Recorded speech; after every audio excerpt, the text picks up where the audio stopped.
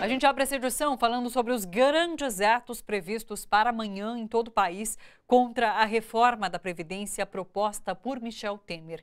Representantes de movimentos sociais e sindicalistas se reuniram hoje em São Paulo para explicar a agenda do Dia Nacional de Mobilização e Paralisação contra a Reforma da Previdência, marcado para este 15 de março.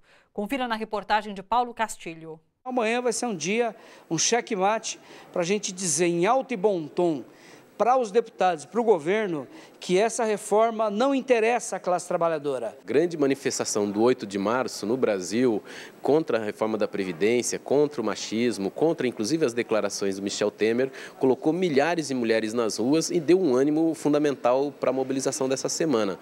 Também na semana passada, a ocupação na Paulista, pelo MTST, garantiu, depois de 22 dias de muita luta, de muita mobilização, a volta do financiamento da moradia para as famílias mais pobres. Então, nós vamos para amanhã, para o dia 15 de março, num Dia Nacional de Paralisações, com muita manifestação, diversas categorias cruzando os braços e as capitais, em particular em São Paulo, vão ter muita gente para mandar um recado para o Temer. Se votar essa reforma, o país vai parar e o povo brasileiro não aceita esse desmonte. Segundo Raimundo Bonfim, da Frente Brasil Popular, que representa 63 entidades, a intenção é que as paralisações e mobilizações dos trabalhadores sirvam de alerta para sensibilizar o Congresso Nacional que é hoje a única base de sustentação do governo para aprovar as reformas contra os trabalhadores. O Temer é um governo que tá, nós estamos diante de uma crise econômica e social, é um governo atolado até a medula em corrupção,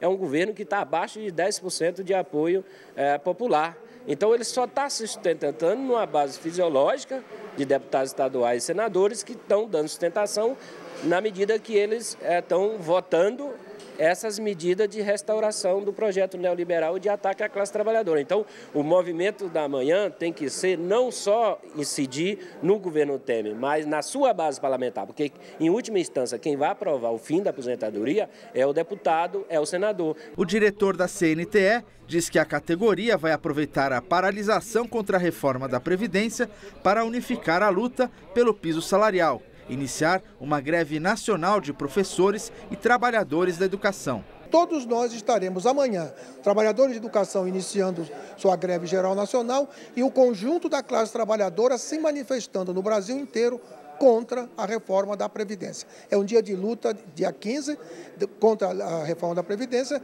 com marcando o início da greve geral nacional dos trabalhadores de educação. E enquanto a maior parte dos trabalhadores participa da paralisação, a categoria dos jornalistas precisa trabalhar para noticiar os acontecimentos. E amanhã né, a manifestação é contra o desmonte da Previdência, contra essa gana maldita de entregar a Previdência Social para a Previdência Privada, o que é um crime lesa a humanidade. Pode procurar as mídias alternativas, dá lá um Google, mídia alternativa, ou Rede Brasil Atual, TVT, é Rádio Brasil Atual, jornalistas livres, porque é ali que você vai ter a informação do que está acontecendo amanhã, não só na capital, como no Brasil inteiro. As, a mídia tradicional, com certeza, não vai ter como não cobrir, mas não vai dizer exatamente o que está acontecendo.